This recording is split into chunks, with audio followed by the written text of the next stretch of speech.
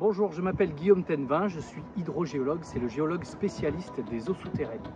En 2022, une sécheresse sans précédent a sévi dans les Alpes-Maritimes et plusieurs communes ont vu leurs sources tarir, contraignant à devoir les alimenter avec des camions-citernes. Dans la plaine du Var, la nappe phréatique a baissé de manière spectaculaire, de plus de 15 mètres dans sa partie amont.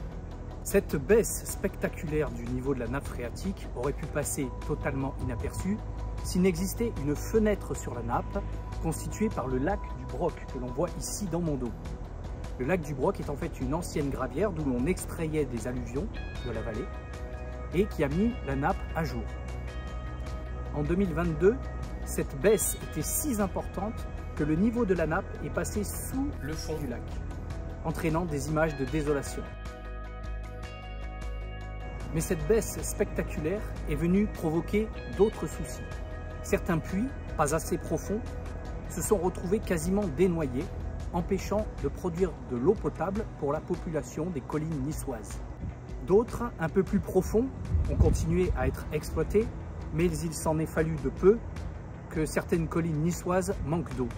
Des interconnexions d'urgence entre réseaux d'eau potable ont dû être réalisées pour permettre la continuité de l'alimentation en eau potable de la population. Pour éviter de revivre ce scénario du pire, une collectivité, la Régie d'Azur, a décidé de créer des puits de secours plus profonds dans la nappe du Var, moins vulnérables à une baisse drastique de la nappe phréatique. Je vous propose de découvrir en images la création de ces ouvrages de secours réalisés avec la technique Benoto.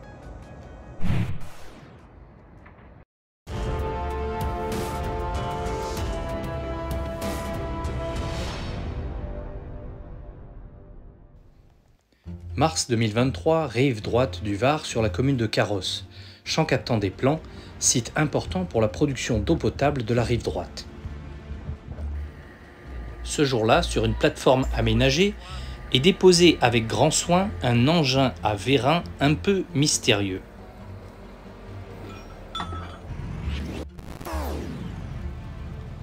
Peu après, deux grands tubes en acier diamètre 800 mm sont disposés l'un sur l'autre avec une grue de levage.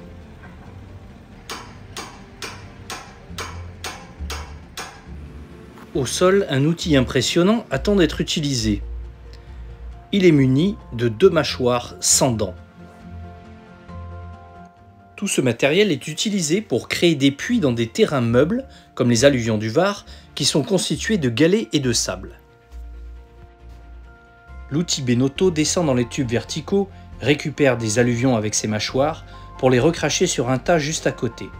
On renouvelle l'opération plusieurs fois tout en faisant descendre les tubes aciers jusqu'à atteindre le rocher sous les alluvions.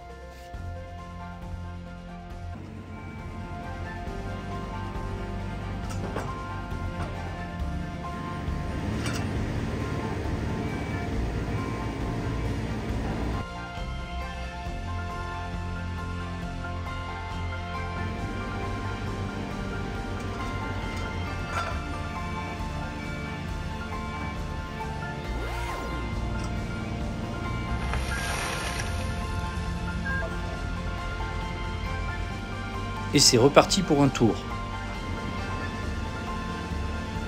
Au fur et à mesure, on rajoute des tubes pour descendre toujours plus profond. Une fois le rocher atteint, on équipe le trou avec des tubes en inox crépiné qui laisseront passer l'eau. C'est dans ces tubes inox que sera placée une pompe pour remonter l'eau de la nappe phréatique.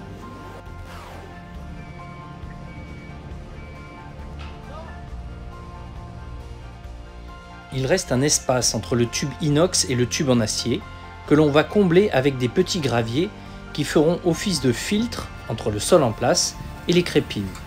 On parle de massif filtrant.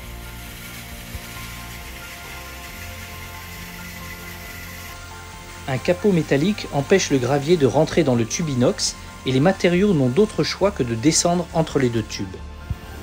Progressivement, on retire les tubes en acier avec l'aide du vérin jusqu'à les déposer complètement. Reste alors dans le sol un tube inox et son massif filtrant périphérique.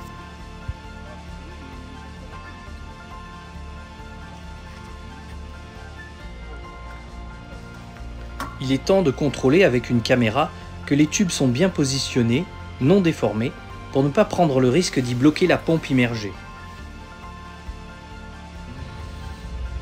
Le passage caméra permet aussi de documenter un état zéro de l'ouvrage.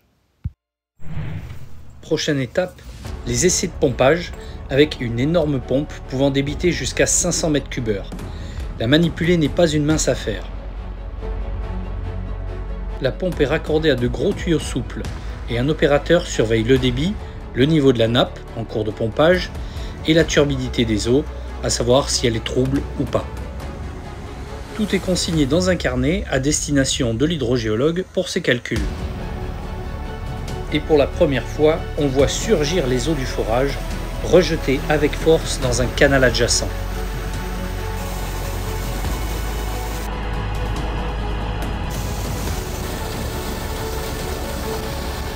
Le débit, la qualité des eaux sont au rendez-vous et on peut alors envisager de raccorder le forage au réseau d'eau potable une colonne d'exor en inox viendra se connecter à la pompe, placée tout au fond du forage. Chacun est satisfait et fier du travail réalisé en urgence. En plaçant la pompe tout au fond du forage, plus profond que les puits environnants, on sécurise l'alimentation en eau potable de la population, même en cas de baisse drastique de la nappe.